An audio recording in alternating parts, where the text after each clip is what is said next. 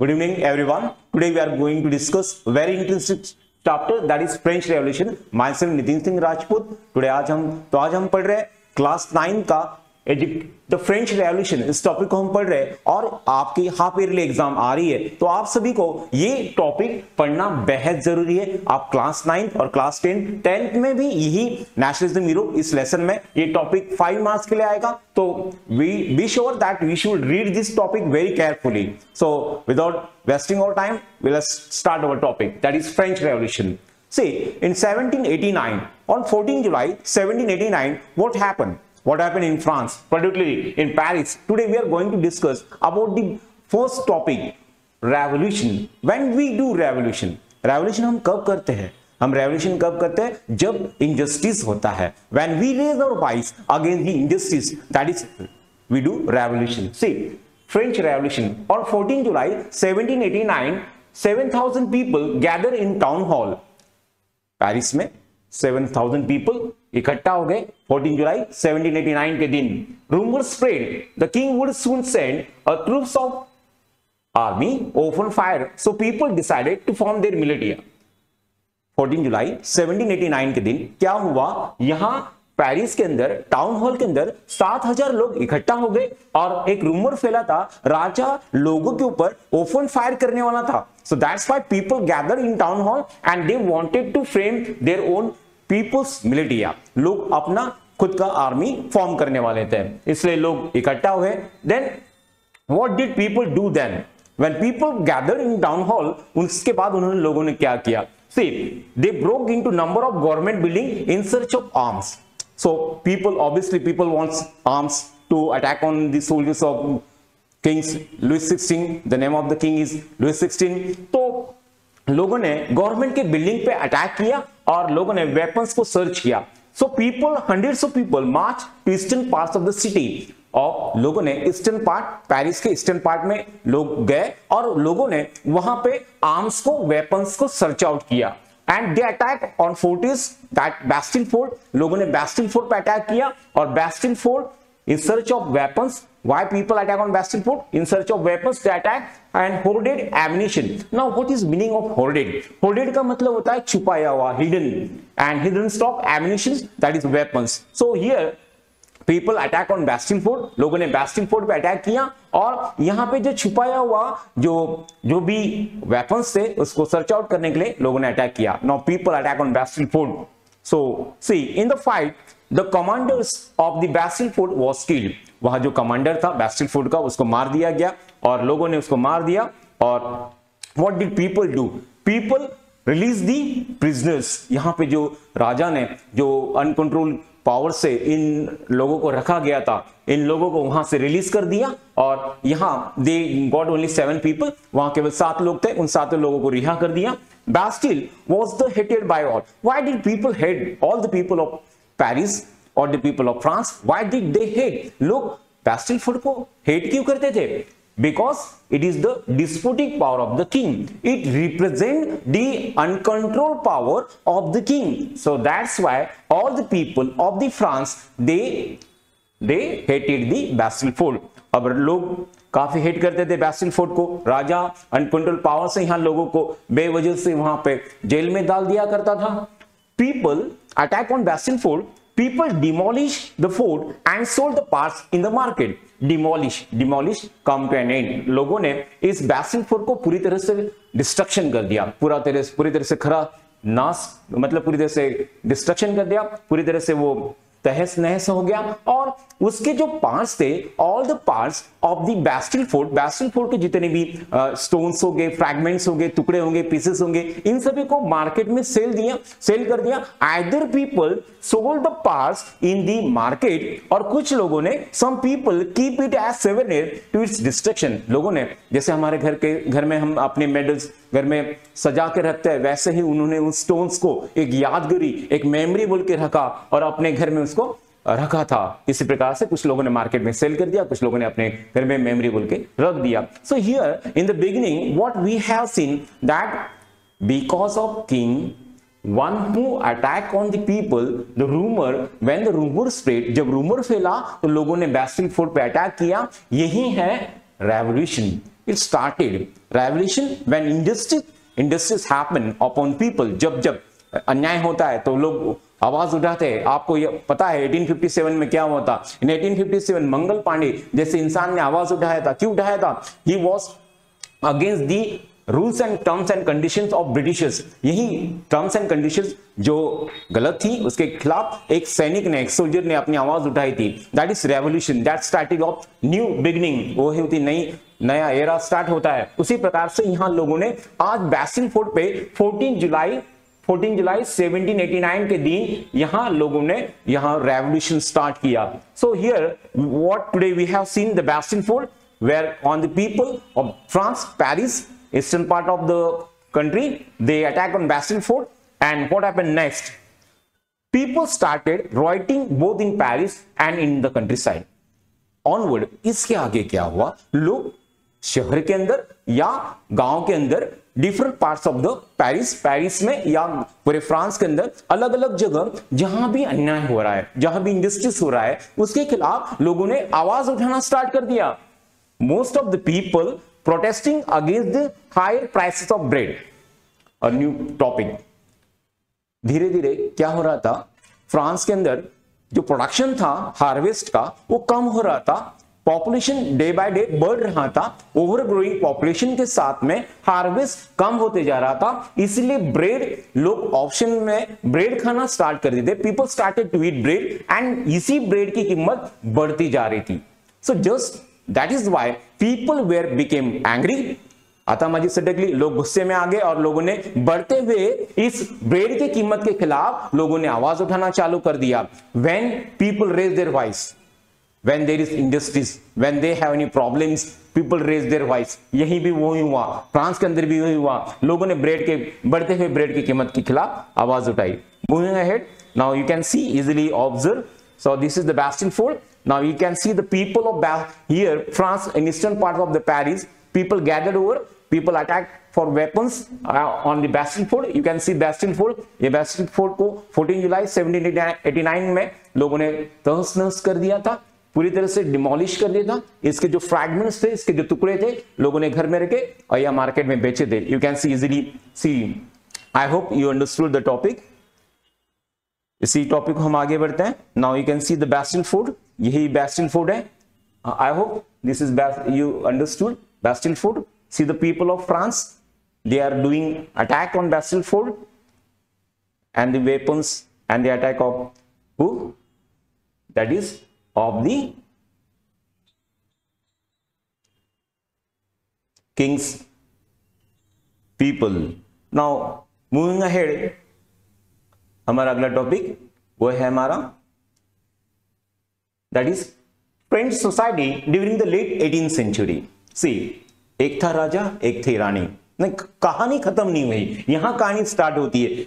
Louis sixteen the king of France Louis sixteen one who increase the taxes okay monarchy system and he married to the princess बड़ी सुंदर राजकुमारी है Mary Antoinette Germany के हैं। इनसे शादी किया था। Now, से king married to the Marie Antoinette, King Louis XVI from the Bourbon family. In 1774 you can see Louis sixteen जो एक रॉयल फैमिली से आए थे बोरबन फैमिली से आए थे और 1774 में at the age of 20 he became the king and he married to the Austria Austria नहीं ऑस्ट्रिया की जो राजकुमारी है वो है हमारी रानी मैरी एंटोनेट उनसे शादी किया था princess Marie Antoinette so I hope राजा का नाम है लुइस सिक्सटीन फ्रांस के राजा है। उम्र के 20 साल में 1774 में he became the king monarchical system Bourbon family से बिलोंग करते हैं, एक रॉयल फैमिली से बिलोंग करते हैं and he married to the Austrian princess Marie Antoinette so when they married after some years you can easily identify क्या हुआ?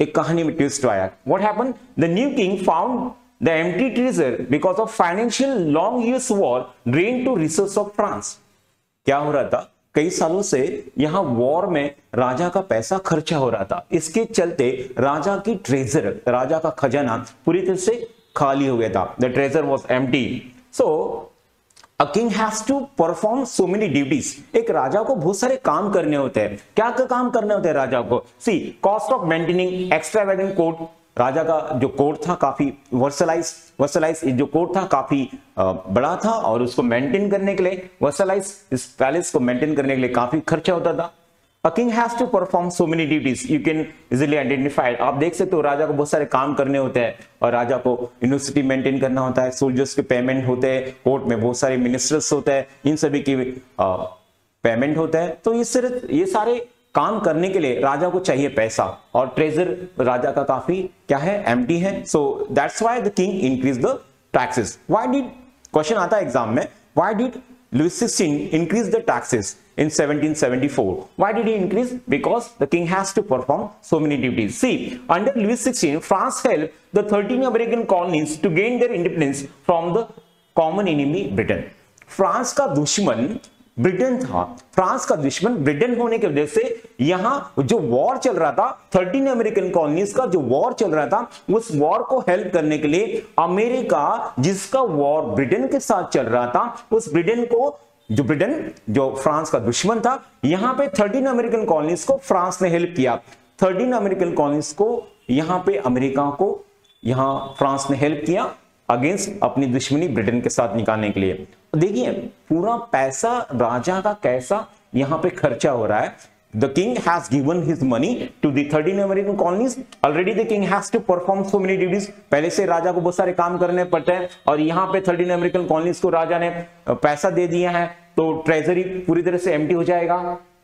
See the war added a billion livres to the depth पहले से ही thirteen American colonies को पैसा दे दिया। यहाँ पे राजा के ऊपर livre livre the currency of France France उस समय लीवर करेंसी था और इसकी वजह से वॉर की वजह से सरकार राजा का ये पूरी तरह से कर्जे में डेप्थ कर्जे में डूब गया था। और some people of the France जो फ्रांस के जो वेल सेटल पीपल थे, उन लोगों ने राजा को लेंडिंग पैसा उसने दिया था। वो लोग now this people the people who has given money to the king they are demanding their money back वही लेंडर अब राजा को पैसे मांग रहे। वो भी टेन परसेंट के साथ में इंटरेस्ट के साथ में। What did the king do lenders who has given the state credit जिन लोगों ने राजा को पैसा दिया था now began to charge their money with with whom ten percent interest लोगों ने, जिन लोगों ने पैसा दिया था, वे सारे लोग अब टेन परसेंट के साथ में लोन लोन का पैसा मांग रहे उनका पैसा भी और उस पर टैक्स भी मांग रहे हैं। सो टेन परसेंट इंटरेस्ट भी मांग रहे हैं। So here moving ahead government has to spend money on now you will come to the point राजा को क्या काम काम करने होते हैं? गवर्नमेंट कहाँ पैसा खर्चा करता है? The cost of maintaining what army court, running of government offices, universities.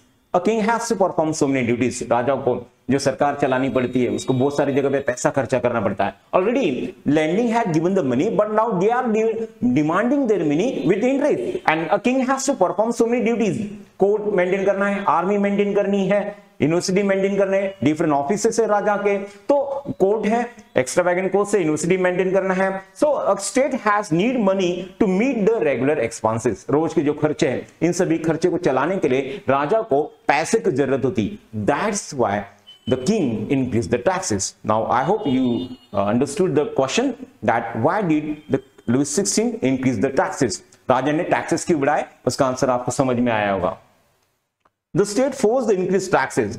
Now, in 18th century, the France society was divided in three different state. State society, a particular group of people. 18th century में France ये तीन अलग अलग societies में describe बटा हुआ था first state clergy लोग second state nobility and third state there are some people they are in this way big businessman merchants court officers, lawyers in second state, the now in third state.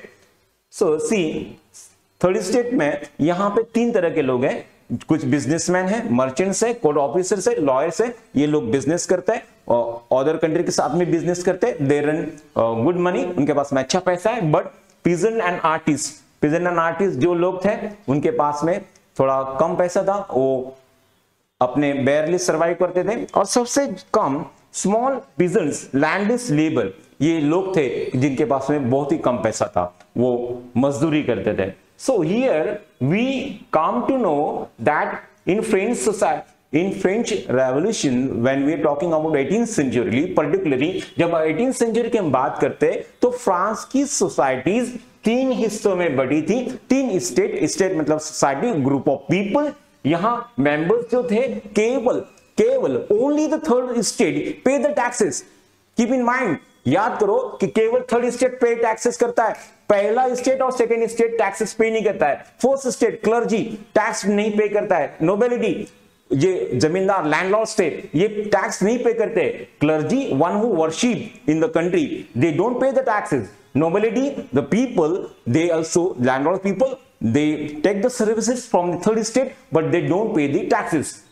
Here big businessman merchants lawyers now in third state big businessman merchants court officers lawyers these people do the trade ये लोग trade करते हैं ये office में different काम करते हैं they are well settle but peasant and artists and small landless peasants and labor they do daily wages ये लोग daily wages पे काम करते हैं barely survive करते हैं so only the third state pay the taxes and first and second state tax नहीं pay करते सीधी सीधी बात है पहला स्टेट सेकंड स्टेट टैक्स नहीं पे करता है only the third state pay the taxes ये अच्छी बात नहीं है, और थर्ड स्टेट पे इसका एटीन सेंचुरी में यूरोप के अंदर ये काफ़ी बर्डन फ्रांस के अंदर थर्ड स्टेट के ऊपर आ गया था। Okay what we discuss today Bastille fort पे कैसे अटैक हुआ?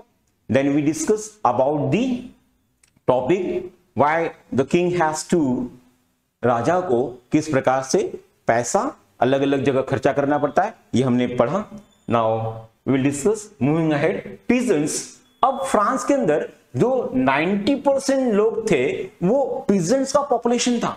लेकिन लैंड जो था, वो 60 परसेंट ज़मीन ये नोबल्स के पास में थी। सी 90 परसेंट पॉपुलेशन ये किसानों का है, लेकिन किसानों के पास में खुद की ज़मीन नहीं है। ज़मीन किसके पास में? Land is belonging to the nobles 60 percent ज़मीन नोबल्स के पास में है। नोबल्स इन किसानों को अपने घर में, खेत में आर्मी में और रोड कंस्ट्रक्शन में काम करवाता है। See, the land is owned by the nobles 60% or the richer member of the third estate. Kuch a few numbers of people are there in third estate. They are having the land and 60% land is belonging to whom? Land is belonging to, land is the possession of whom? Nobles. Here, clergy and nobility, they have certain right by birth. Clergy and nobility को जन्म से certain privileges है what is mean by privileges? Privileges का मतलब क्या होता है Certain right by birth. इन लोगों को जन्म से अधिकार है क्या अधिकार है They are paying, they are not paying taxes. They are having the existence of paying taxes. ये टैक्स नहीं पे करते हैं tax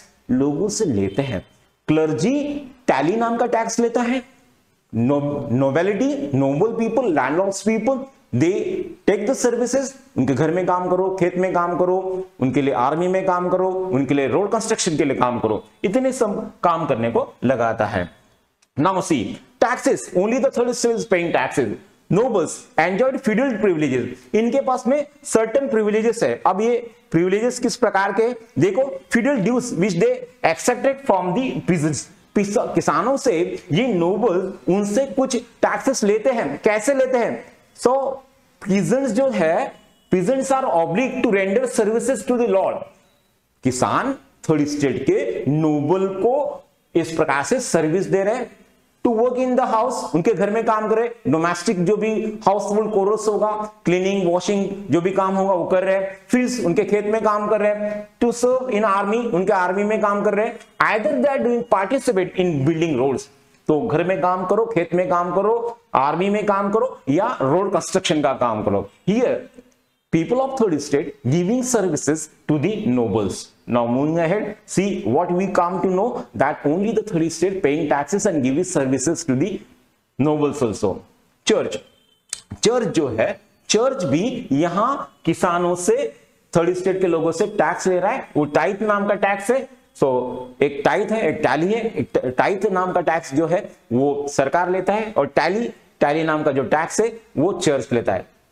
Church took the taxes from the third state third state and it is name as taille तो taille नाम का tax लेता है। सो so, और यहाँ पे एवरीडे कंजप्शन जैसे सरकार जो है एवरीडे कंजप्शन जो भी यूटिलाइज करते हैं हम डेली नीड्स की जो भी मॉर्निंग टू इवनिंग जो भी हम टैक्सेस लेते हैं उस पर भी सरकार टैक्सेस लेते हैं। उसको हम कहते हैं that is everyday needs salt tobacco so indirect taxes taken by the government also and direct tax taken by the church that is taille so taille taxes so here you will come to know see यहाँ type एक tax है जो church लेता है tally एक tax है जो directly government state government लेता है। So, here are some new words are also given to us, that is livres livres is the currency of france. During the seventeen ninety four उसके बाद में ये discontinue हो गई। क्लर्जी ये कौन है? ये ग्रुप ऑफ़ पर्सन है जो यहाँ पे स्पेशल फ़ंक्शन जो परफॉर्म करते वर्शिप का काम करते। टाइथ ये टैक्स है जो चर्च ने लेविड किया है लेविड इंपोज किया है। किस पे? किसानों पे। वन बाय टेन किसानों को अपने खेत का वन बटा टेन दसवां हिस्सा जो है पार्ट ऑफ़ प्रोडक्शन हार्वेस्ट का, ये किसको देना पड़ता है? यहाँ चर्च को देना पड़ता है।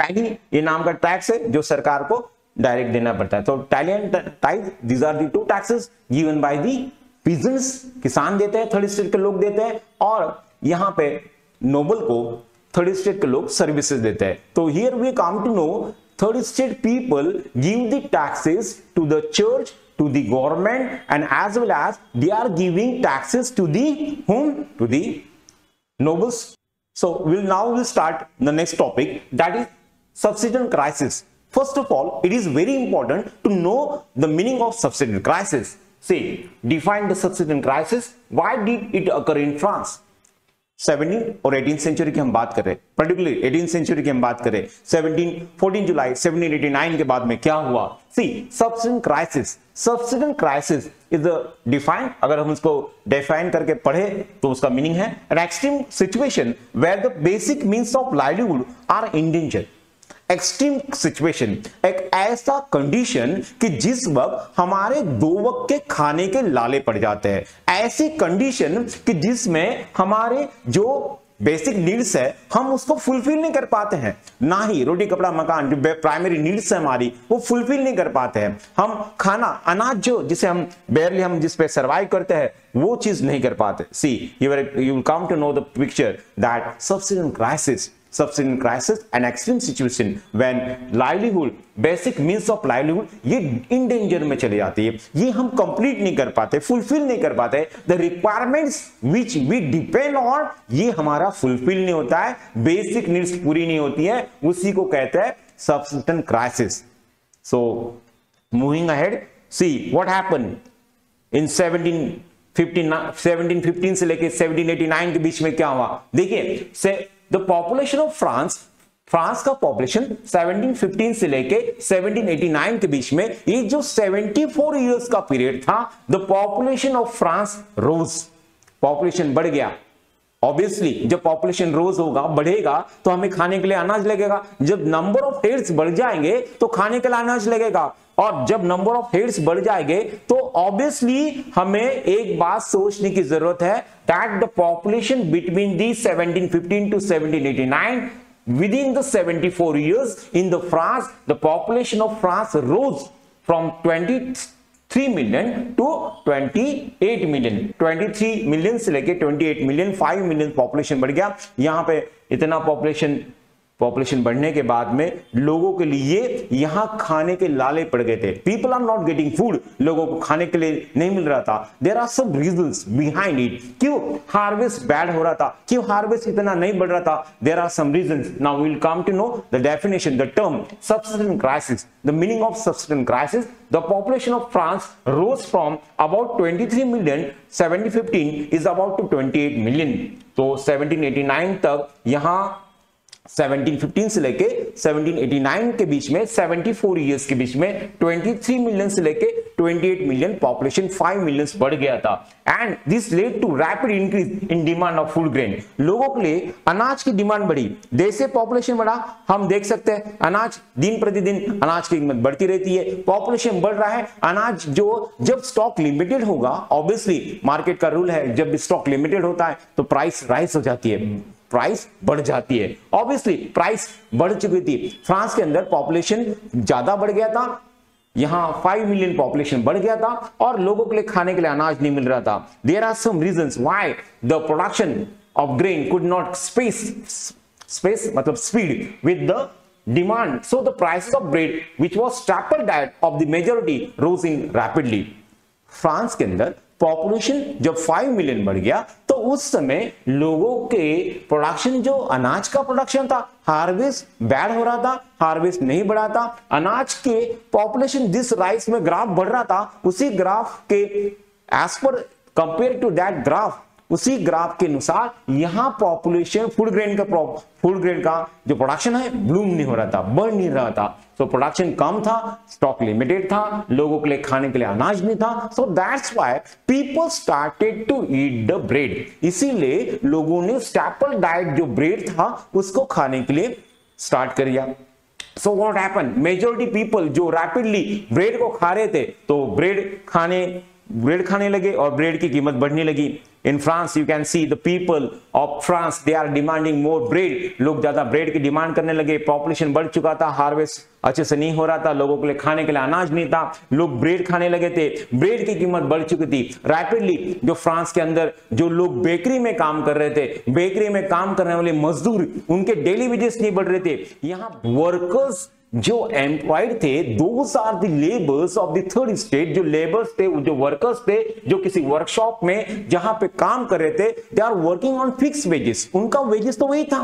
ब्रेड की कीमत बढ़ रही है, अनाज की कीमत बढ़ रही है, लेकिन यहाँ पे, यहाँ मजदूर, जो workers those workers they are doing work in bakery जो बेकरी शॉप में काम करे, उनकी मजदूरी wages daily wages are fix and wages did not keep space with the rise of prices bread की कीमत बढ़ गई, यहाँ मजदूर, उनकी तनख्वाह, उनकी डेली वेजेस जो थी, दिहाड़ी जो थी, वो बढ़ नहीं रही थी। देखो, जब तनख्वाह होगी, जब पॉकेट में उनके पैसा आएगा, तभी तो ब्रेड खरीद पाएँगे। वेजेस उतना ही है, मजदूरी उतनी है। जब वेजेस, एक वर्कर जब ब्रेड खरीदने जाएगा, पेमेंट उतना ही है, लेस पेमेंट में बढ़ते हुए प्राइस ब्रेड की कीमत कैसे खरीद पाएगा?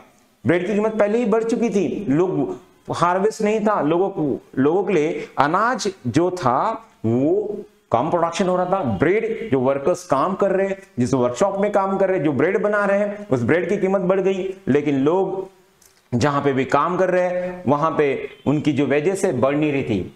सोसाइटी दो हिस्सों में बढ़ गया। There was a gap between the society was divided in between two different parts है ना? Poor and rich you can see the gap between the rich and poor widen ऊँचा मकान फीका, पकवान, ऐसे ही हो गया। यहाँ सोसाइटी देखिए, दो हिस्सों में बढ़ गया। एक तरफ़ अमीर there are number few leader few peoples कुछ ही मुठीवर लोग ये रिच हुए owners factory owners bakery owners ये रिच हुए और पुअर बिकेम मोर पुअर पैसा, पैसे वाले के पास में जाता है। गरीब और गरीब होता गया। So this was the gap between the society now the things became worse चीज़ें और बुरी हुई कब हुई। देखो वेन एवर द ड्रॉट सूखा गिरने लगा। हेल आसमान से ओले ice box hail ice box that fall down on the harvest हंगाम जो हार्वेस्ट फ़सल जो ले रहा है, एक किसान जो खेत में फ़सल ले रहा है, उस फ़सल में बार बार ड्रॉट सूखा गिर रहा है हेल आसमान से ओले गिर रहा है। You can see when harvest ढंग से नहीं आ रहा है।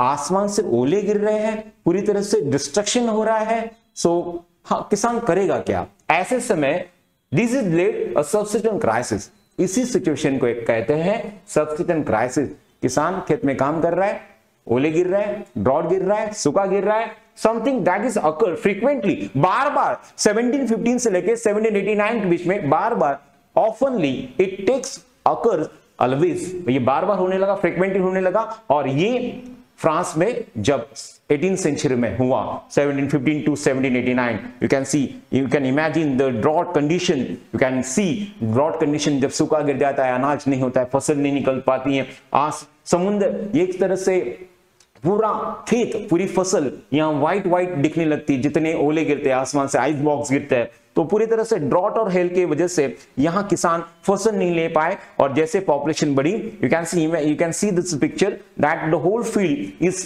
is field with with the ice box ice box से भर गई और यही हार्वेस्ट हेल गिरते हैं हेल आसमान से ओले गिरते हैं और यहाँ ये टॉपिक हम पढ़ रहे हैं। तो इस टॉपिक में लास्ट कुछ न्यू वर्ड्स भी है। What is mean by subsistence crisis subsistence crisis and extreme situation where the basic needs of livelihood are in danger so, here we come to know anonymous मतलब जिसका नाम unknown है। यहाँ हमने दो टॉपिक कवर के बैस्टिंग फोर पे attack की हुआ and that is second topic that is subsistence crisis I hope everything is clear to you अगर कुछ डाउट्स हो गए तो आप कमेंट बॉक्स में ज़रूर लिखिए। I will make next video on the same topic thank you